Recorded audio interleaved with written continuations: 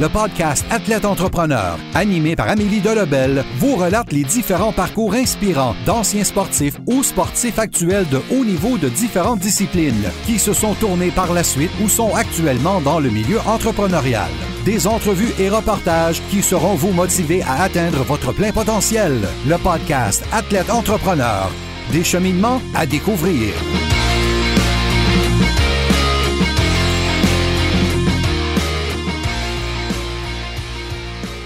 Bonjour à tous, ici votre hôtesse Amélie Delebel et je suis très heureuse de vous accueillir sur mon podcast Athlète Entrepreneur pour cet épisode 118 sur outiller les jeunes hockeyeurs selon Olivier Labelle. Athlète Entrepreneur est un podcast qui a pour but de motiver les athlètes ou anciens athlètes qui souhaitent se lancer en affaires. Avant de vous parler de mon invité du jour, je voulais vous présenter le partenaire de cet épisode, Athlete Nation. Athlete Nation est une entreprise canadienne cofondée par Adam Thibault, que j'avais reçu à l'épisode 54. Cette entreprise sociale remet 20% de ses profits au développement des athlètes canadiens. Si vous cherchez des suppléments pour vos entraînements, votre récupération ou votre santé en général, ainsi que des vêtements pour sportifs, je vous recommande ceux d'Athlete Nation. Pour aider directement les athlètes canadiens à atteindre leur plein potentiel grâce au sport, simplement vous rendre au ameliedelebel.com athlete nation a-T-H-L-E-T-E-N-A-T-I-O-N. Profitez également d'un rabais de 10% sur tous les produits en utilisant le code promo AE10. Donc AE en majuscule pour athlète entrepreneur 10. Pour cette émission, j'ai le plaisir de discuter avec Olivier Labelle, un hockeyeur professionnel qui a évolué au cours de sa carrière dans la ECHL, la AHL en Angleterre et actuellement en Ligue Magnus en France. Voulant transmettre sa passion et aider la relève, il a confondé avec deux partenaires l'école de hockey Olivier Labelle en 2013 à Saint-Eustache. Sans plus attendre, je vous laisse à cette entrevue. Bonne écoute! Alors, je suis actuellement avec mon invité du jour, Olivier Labelle. Salut Olivier, comment ça va? Bonjour, ça va bien, merci. Alors, euh, Olivier, est-ce que tu pourrais nous expliquer quel a été ton parcours dans le monde du hockey jusqu'à présent, donc de tes débuts dans le hockey mineur jusqu'à euh, aujourd'hui au niveau euh, professionnel? Ben, je pense que comme tout le monde, j'ai, en grandissant là, dans le banlieue de Montréal, à Saint-Eustache, euh, j'étais un passionné de hockey dès le tout jeune âge. Mon père me faisait une patinoire extérieure. c'est devenu même la patinoire du quartier pendant une quinzaine d'années. donc, la passion s'est donnée du côté familial, ça c'est certain. Euh, comme tout le monde, j'ai commencé à jouer euh, organisé à 4-5 ans. Je suis monté les échelons, euh, euh, Novissa, Saint-Eustache. Après, je suis monté avec les Seigneurs de Mélile. C'était mon organisation au niveau AA. Donc, euh, Atom, puis oui, euh, Bantam première année. Euh, j'ai fait le saut midget 3 à mon année 15 ans. j'ai changé un peu attaquant-défenseur. J'étais un petit peu mêlé dans ma jeunesse, là, mais finalement, au niveau midget 3, j'ai décidé de jouer à l'attaque. Euh, donc, j'ai pas été repêché à ma première année euh, niveau budget 3 là, pour le junior majeur. Euh, ça avait été quand même une, grosse déception. Il y avait juste à l'époque, c'était les cinq premières rondes pour les joueurs de 15 ans. Euh, je me suis retroussé les manches. L'année d'après, j'ai eu une bonne saison de niveau budget 3. J'ai fait les moins de 17 ans. Team Québec, moins de 17 ans. J'ai été repêché en première ronde par les Olympiques de Hull à l'époque. Donc, j'ai joué pour les Olympiques pendant trois saisons. Mes deux premières saisons, on a remporté la Coupe euh, du Président, puis on s'est incliné en finale euh, de la Coupe mémoriale les deux années. Euh, encore une fois, des déceptions au niveau du repêchage. finalement, je n'étais pas, pas quelqu'un qui était bon dans les repêchages. J'ai pas été repêché au niveau de la LNH mes deux années. Là. Même la première année, j'étais j'étais quand même bien classé. Je m'étais présenté au repêchage à Nashville, donc ça n'a pas été ça pas été un week-end facile, mais ça a peut-être forgé mon caractère. Euh, j'ai continué à travailler fort. Puis à mon année 20 ans, j'ai été changé euh, à Bathurst. Euh, j'ai eu, j'ai connu une explosion offensive à mon année 20 ans. ce qui m'a peut-être ouvert les portes là, du hockey professionnel. Ensuite de ça, j'ai commencé en Ligue américaine ma première saison à Syracuse avec le club école de Columbus. Ensuite de ça, ça a été la navette entre la East Coast puis la Ligue américaine pendant cinq autres années. Euh, jusqu'à temps que je décide d'aller en Europe. Je suis allé en Europe pendant, je suis allé en Autriche. Euh, mon, premier contrat en Autriche, ça a été deux saisons avec l'organisation de Graz en Autriche. Euh, c'était un de mes anciens coachs, euh, Mario Richer, qui était là à l'époque, qui, m'avait entraîné junior. Donc, il m'a amené là-bas. C'était une super belle expérience. La deuxième année, ça s'est un petit peu moins bien passé, blessure et tout. ils ont racheté ma troisième année de mon contrat. Donc, moi, en étant marié avec une, une, Américaine, ma femme vient de Reading en Pennsylvanie c'est où j'ai joué euh, la plupart de mes euh, saisons en East Coast. Euh, donc, je suis retourné là-bas, j'ai eu une bonne saison. je suis par la suite retourné en Europe, je suis allé à Rouen. Euh, cette année-là, ça a été, euh, ça s'est pas bien été. On a, on a, on a pratiquement tout gagné. Euh, ben, en fait, les seuls titres que j'ai gagnés au niveau professionnel, c'est cette année-là avec Rouen en, en, France. Je suis retourné une année en East Coast pour passer du temps avec ma femme à Reading. Je suis, après ça, je suis retourné en France à Bordeaux pour une nouvelle aventure. Ensuite de ça, je suis revenu aux États-Unis pour, pour être avec ma femme. Cette fois-là, c'était à Indianapolis. Elle, elle avait déménagé pour son boulot, donc je l'ai suivi là-bas. Il y avait une équipe à ICHL aussi.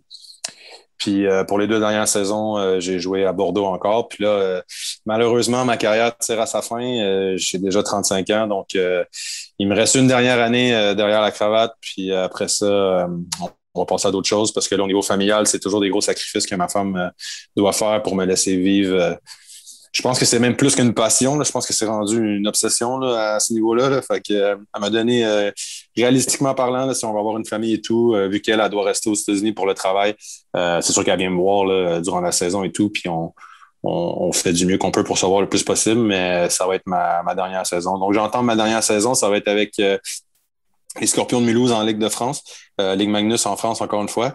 Puis on va en parler plus tard, là, mais euh, c'est avec c'est Alexandre Gagnon, euh, l'entraîneur de Mulhouse, qui est un de mes partenaires de HOL. Donc c'est la raison pourquoi je vais je vais là l'année prochaine. Parfait. Justement, on, s'en venait vers mes prochaines questions, mais juste avant, je me demandais, bon, tu as, très bien expliqué ton, ton parcours, que tu as voyagé beaucoup au niveau professionnel. Euh, quel a été, selon toi, ton plus grand défi justement dans ta carrière? Tu as parlé à deux reprises, les, ça, les repêchages qui se sont peut-être pas déroulés comme tu le pensais, tant au niveau junior que dans, que dans la Ligue nationale.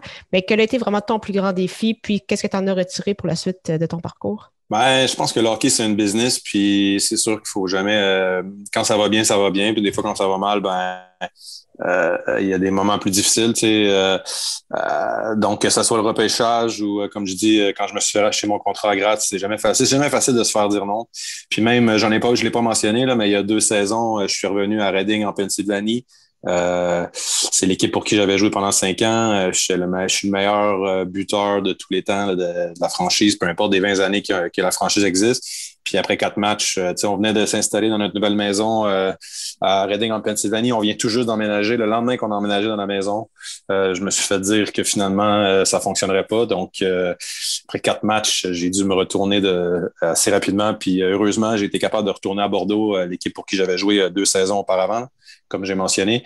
Donc, je suis retourné à Bordeaux, mais ça n'a pas été facile au niveau familial parce que dans ma tête, j'allais jouer au moins deux saisons à Reading. Euh, en étant avec ma femme, on venait d'emménager dans une nouvelle maison. Euh, je veux dire, ça a été un coup quand même, euh, quand même dur. Donc, surtout venant d'une organisation pour laquelle j'avais joué longtemps, puis que je sais que j'étais plus vieux et tout, mais en tout cas, je trouve que de la façon que ça s'est fait, ça, a été, ça a été plus ou moins ordinaire. Donc, ça a été un coup difficile, mais je pense que dans une carrière de, là, c'est ma 16e saison, plus au niveau junior, bon, ben, des coups durs, il y en a toujours, mais c'est, je pense que c'est normal. Tu regardes euh, tu peux regarder un peu dans LNH, euh, tu regardes Zeno Chara, euh, il a joué, il était capitaine pendant je sais pas, 15 saisons, je pense, avec Boston, puis du jour au lendemain, il se fait montrer la porte. c'est ça arrive, c'est la business, c'est, ça fait partie du hockey. C'est comme n'importe quoi, en fait. C'est comme n'importe quel job, n'importe quel domaine. Il y a toujours des moments difficiles, des défis, des choses qui fonctionnent pas comme tu veux, mais je pense juste que c'est je dirais pas qu'il y a eu un moment euh, marquant. Je pense juste qu'il y, a eu, y en a eu plusieurs, mais je pense que j'ai toujours réussi euh, à, m'en sortir. Ça paraît ta, passion pour le hockey. Tu en as glissé un mot justement en disant que tu en mangeais et tu étais tout le temps, tu pensais toujours à ça. Ça a passé justement à un autre niveau quand tu as euh, fondé ton école de hockey justement avec tes deux partenaires, dont Alexandre Gagnon, mais également Maxime Lalande. Donc, je pense que c'était en 2013. Qu'est-ce qui t'a poussé en fait à fondé cette école de hockey qui est basée à, Saint-Eustache? Donc, on comprend que c'est où est-ce que tu as grandi. Ben, en fait, euh, moi puis Maxime, on est amis depuis qu'on a 5-6 euh, ans. Là, on jouait au soccer ensemble, au hockey. On a grandi ensemble à la même âge. Alexandre, lui, euh, faire une histoire courte, lui, il a trois ans plus jeune que nous. Mais lui, dans le fond, il est la même âge que mon frère et du frère à Maxime. donc, lui a grandi avec mon frère frère et frère Maxime. Donc, euh, par l'entremise de nos frères, on est devenu comme un peu un grand groupe d'amis. Quand nous, on a atteint l'âge de 20 ans, on avait 17 ans, c'est comme si nos deux, deux, euh, deux groupes d'amis se sont fusionnés. Donc, ça c'est des amitiés de très, très, très longue date. c'est presque, on peut même dire que c'est de la famille. donc, franchement, je pense que c'est Maxime qui avait toujours l'ambition de commencer une, une école de hockey. puis, il en a parlé pendant plusieurs années. Puis, je pense que j'étais, j'étais à Graz à l'époque. Puis, on a décidé c'est cette année que ça commence. Puis euh, on a commencé en 2013. On a commencé tranquillement, pas vite. On a fait, on a commencé avec une semaine, euh, une semaine de camp. Puis euh, je pense qu'on avait un groupe de camp élite qu'on appelle un groupe de joueurs élites à l'époque. Puis de fil en aiguille, chaque année ça grossissait. Puis je pense que je pense qu'on n'a pas brûlé d'étapes. Puis je pense qu'en ce moment, notre été avec la pandémie, on, avait une super belle courbe de progression là au niveau de notre entreprise. Donc, c'est sûr que c'est quelque chose que je suis très fier. C'est quelque chose qui me euh, qui nous passionne parce que les trois, comme je dis, en, en plus d'être des amis, tout notre staff qu'on a engagé et tout, on est devenu, euh, euh, comme je comme je répète le mot, là, mais une grande famille. c'est toujours le fun. C'est, on, on voit même pas ça comme du travail. C'est sûr que c'est beaucoup d'heures, mais c'est tellement c'est tellement des belles semaines qu'on passe tellement des beaux moments qu'on a toujours hâte. la pandémie a fait qu'on a dû cesser nos activités l'été passé un peu comme tout le monde. Ça a été difficile, mais là, de ce que qu'on voit là en ce moment, ça devrait reprendre cet été. Donc, on a bien hâte de, reprendre euh, service. Puis sachant qu'il y a quand même beaucoup d'écoles de hockey au, Québec, en général, mais au Québec euh, précisément, beaucoup d'écoles de hockey de qualité, euh, qu'est-ce que tu dirais qui vous démarque peut-être de d'autres écoles? Ben, en fait, surtout en commençant, là, euh, c'est ça, on, on, on, embarqué dans une grosse jungle. il, y avait, il y a des écoles de partout, puis on n'a pas besoin de mentionner le nom. Là, il y en a, la plus grosse au Québec, probablement, est à 5 km de chez nous, là, à Boisbriand, avec l'Académie Joël Bouchard. Même nous, on a travaillé pour eux euh, quand on était plus jeunes. Donc, euh, c'est sûr qu'il fallait faire quelque chose de nouveau. Il fallait amener quelque chose de, de, différent. Puis je pense que c'est ça qui, au début, qui, qui, a réussi à faire notre nom, c'est qu'on un peu notre match de célébrité qu'on faisait, qu'on fait les vendredis après-midi. Euh, on a la chance d'avoir des amis euh, très généreux qui jouent euh, en Ligue nationale, Ligue américaine, East Coast, Junior, peu importe en Europe, qui, qui viennent les vendredis après-midi, puis on fait un, match. On appelle, on appelle ça une match de célébrité. on fait des thématiques à chaque année. les gars, ils viennent. C'est toujours un, beau moment à passer, surtout pour les jeunes, mais même les pros qui viennent, on, on, les traite aux petits oignons, puis après, souvent, on on fait un souper tout le monde ensemble et tout. Fait que c'est, une belle façon de se voir. Là. Ça peut être des joueurs avec qui j'ai joué, euh, des, joueurs qu'Alex euh, coachait euh, auparavant. c'est des amis là, de, longue date. Puis en plus, là, on a des, deux des joueurs de Saint-Eustache en ce moment qui font des, grandes choses. Là, que, Alex Lafrenière, Nathan Légaré, c'est des, jeunes du coin qui, qui viennent depuis qu'ils sont tout jeunes, puis qui maintenant sont rendus à la. Donc, c'est sûr que c'est spécial pour les jeunes de, pouvoir côtoyer ces jeunes-là dans un autre environnement. les, gars mettent leur équipement complet avec leur beau chandail. Je pense que c'est des, moments inoubliables. Je pense que c'est ça qui, nous a permis de nous démarquer au tout début. Puis je pense que par la suite, euh, ça, ça a été comme peut-être notre, pied dans la porte pour attirer les gens. Mais je pense que notre service, euh, la façon dont on traite les gens, la façon dont on, on communique avec les jeunes, la façon dont on fonctionne. Notre service est quand même, on, a beaucoup de coachs. Euh, le, notre ratio de coach-joueur est quand même euh, très bon. Euh, puis on a du plaisir avec les jeunes aussi, puis je pense que ça paraît. Puis bon, je pense que c'est ça, dans le fond, qui, qui a fait que maintenant, ça, le succès se continue, puis on va espérer que ça se continue encore comme ça pour plusieurs années. Tu en avais glissé un mot tantôt, donc cette année qui est fort probablement ta dernière année de, ben, de hockey là au niveau professionnel. Mm-hmm. Est-ce que, donc, tout d'abord, comment tu entrevois cette saison-là? Puis, est-ce que tu as déjà pensé à des projets? Donc, oui, tu as ton école de hockey, mais est-ce qu'en plus, tu as d'autres projets pour, euh, pour les prochaines années?